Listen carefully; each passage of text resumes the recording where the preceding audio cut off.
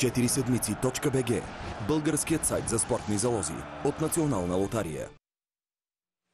Започва рубриката ни Букмейкър и при нас традиционно са Велисов Вуцов и Гретиен Славов. Здравейте и добре дошли. Здравейте. Отново ще си говорим за много интересни коефициенти, футболни мачове и прогнози.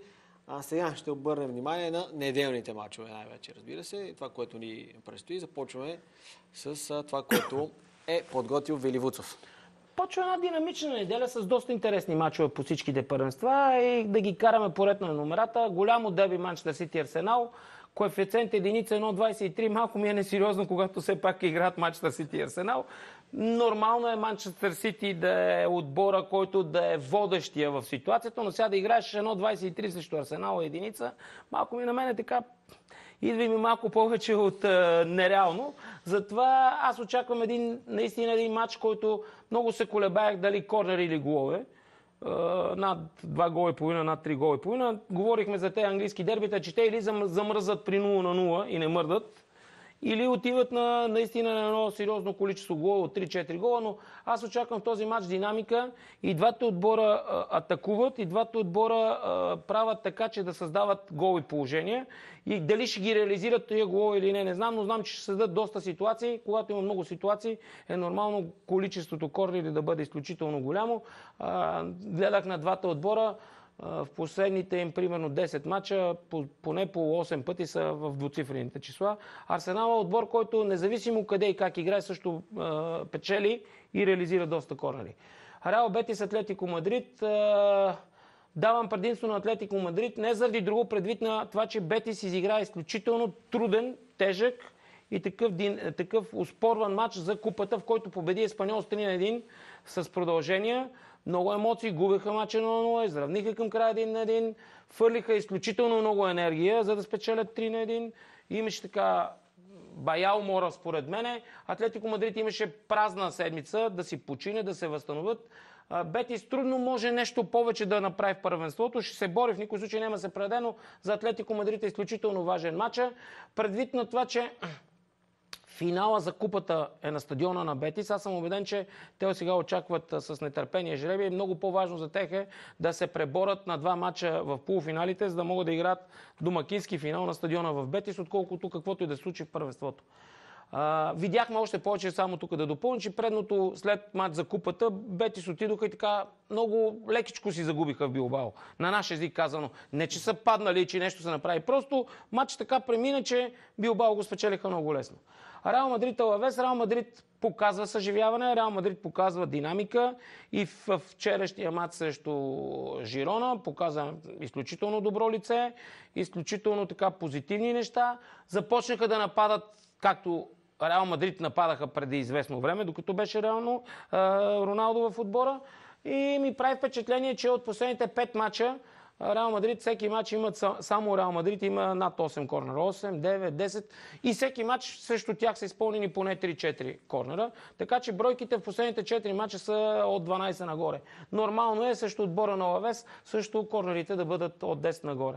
Аусбург Майнц един динамичен матч в Германия, привидно без каквото и да е значение, като крайно класирани и двата отбора са средата, но и двата отбора ще опитат да направят така, че да спечелят точките и да се качат в по-горната част, евентуално да се борят за някакъв вариант за Лига Европа, но а, прави ми впечатление, че в Германия тези мачове, когато са а, равностойни, рядко завършват 0 на 0. Там са 2 на 2, 3 на 2, 4 на 3 такива резултати и очаквам и този матч да е неделен, така пред погледа на целия свят също да бъде доста резултатен. Рома катастрофира изключително тежко в Фиорентина. 7 гола да ти вкарат не е никак добре. Червен картон и за Дзеко. Това, което не им се беше случило. Другото нещо, предния кръг пак срещу Аталанта поведоха 3 на 0. И от 3 на 0 да не вземеш матч готов навънка, да завършиш 3 на 3. Това са две изключително, според мен, много тежки такива поражения и за треньори, и за играчи, и за публика, и за всичко още повече. Получаваш за два мача 10 гола в, в рамките на 4 дена, което за Рома е много голямо. Милан направиха своя, според мен, скок. Не скок, а направо салто напред, побеждавайки с лекота Наполи 2 на 0 за купата, класирайки се на полуфинал. И това, което говорихме вчера, че ги няма на полуфинала Ювентус, Интер и Наполи, стават фаворит. Аз мисля, че Рома трябва, трябва да направят за себе си и мисля, че ще успеят да направят всичко възможно да изкупат греха и срама от последните тия 10 гола за два мача и мисля, че Рома влиза като, така, като фаворит този матч силния Сент Етиен като домакин и като въобще общо взето като класиране влезе в четворката Сент Етиен на Франция, което е нещо, което закономерно предвид на добрите игри. Едни дестина мача вече без загуба кара този отбор. Като домакин е изключително силен. Да, Страсбург не е слаб отбор, но аз залагам на Сент Етиен, на домакинството. Според мен Сент Етиен е един от най-силните домакини в Европа. Отбор, който вкъщи е чудо направо. И публика, и отбор, и динамика. Приятно е да се гледат домакинските мачове на Сент Етиен, да се види този отбор как воюва на, на, за всеки един гол и за всяка една ситуация да побеждават.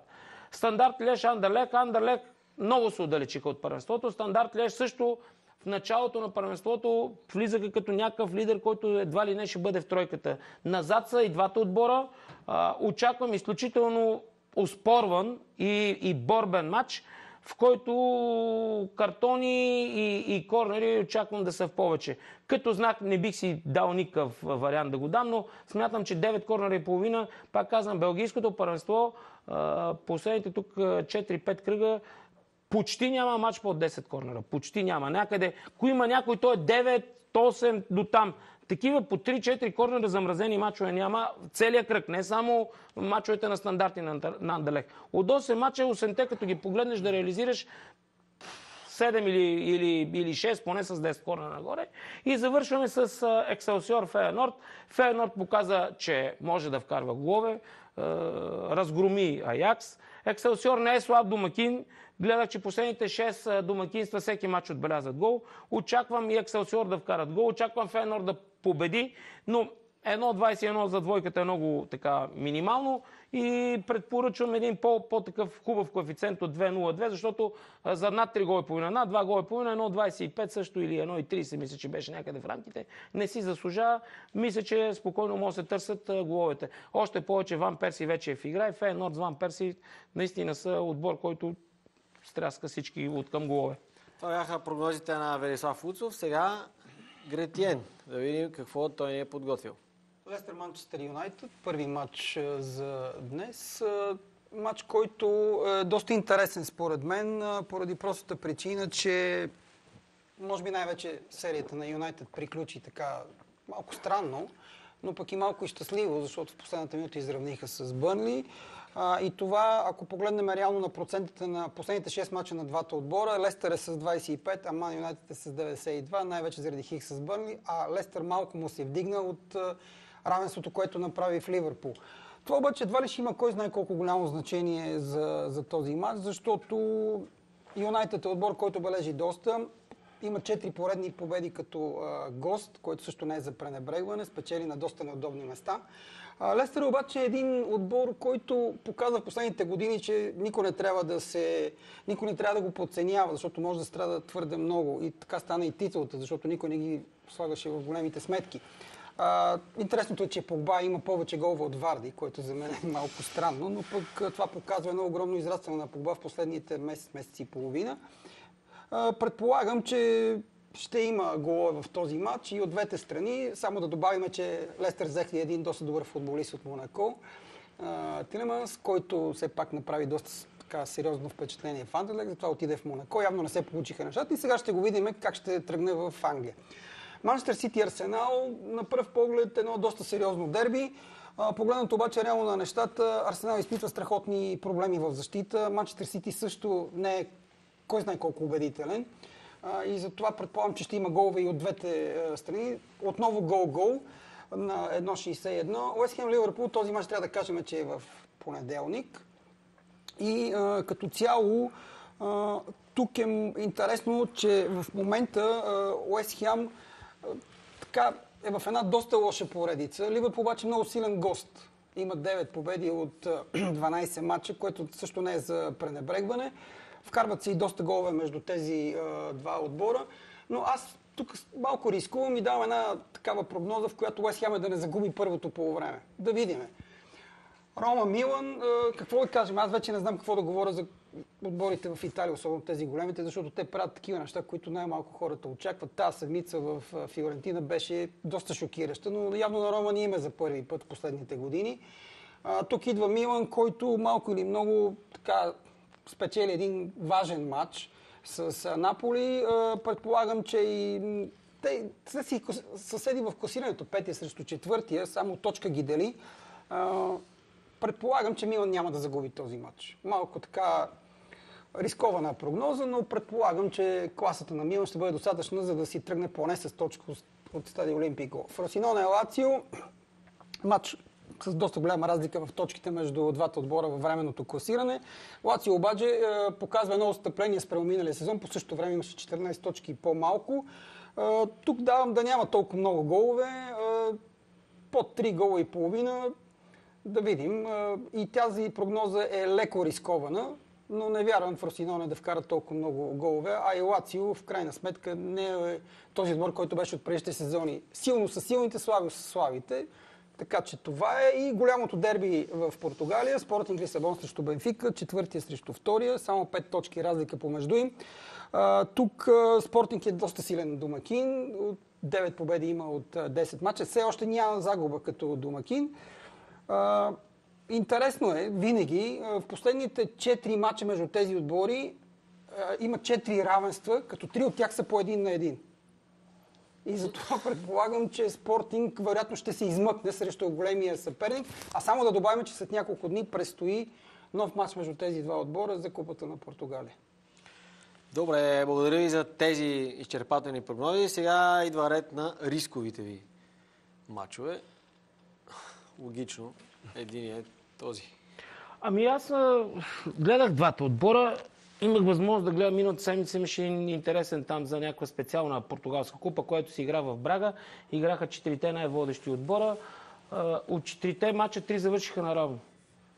Когато играха Спортинг, Бенфика, Порто и Брага. Така че явно, че равният резултат е един доста типичен за, за такива дербита в Португалия.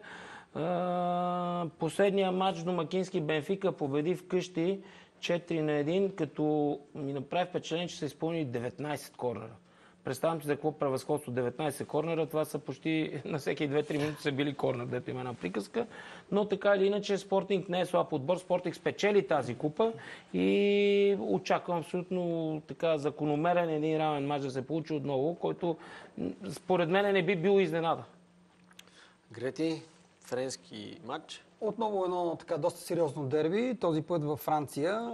ПСЖ няма какво да говорим за този клуб. Последните 7-8 години пълен доминант.